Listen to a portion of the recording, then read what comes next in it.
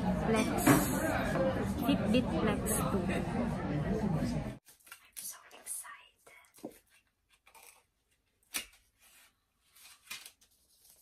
so kailangan kong mag-install ng uh, Fitbit sa aking mobile, sa aking phone.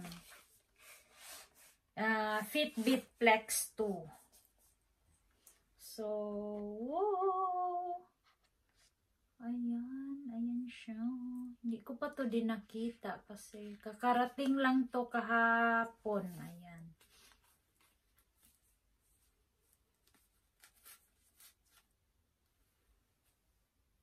Fitbit Flex 2. Ay, wow! Ang ganda. Ang ganda niya. Ayan yung bracelet. Ah, uh, ang size nito is uh, small.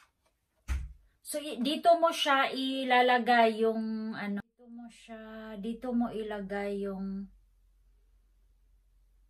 parang memory niya. Siya yung nagmo-mole. So, ang ano nito is rose gold siya. So, ayan.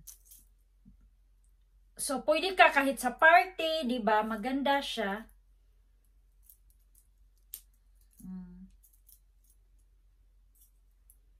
Ayan.